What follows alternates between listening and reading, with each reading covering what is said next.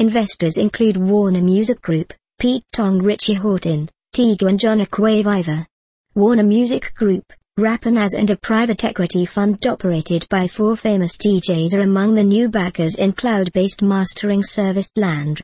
Additional participants in the $6.2 million funding round were prior investor Yule Ventures, Real Ventures and Cirque du Soleil founders Guy Laliberte and Daniel Gauthier. Spotify reportedly secures Goldman Sachs funding amidst rumors of Apple offensive. The funding indicates further interest by music creators in cloud-based services made for their type of work. Plus 8 Equity Fund, an investor in LANDR as well as cloud-based collaboration service Splice, includes DJs Pete Tong, Richie Hawtin, Tiga and John Acquaviva.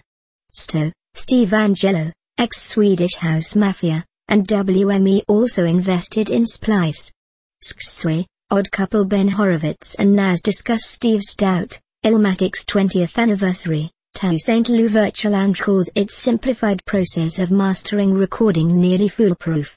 The user chooses a monthly or annual fee based on level of service and file type. The process requires a file upload and tweaking controls to get the desired sound. In a statement, Nas, an avid investor in startups, called LANDR an affordable technology that can turn out music with a quality finish like any major label artist with a budget, Nas said in a statement.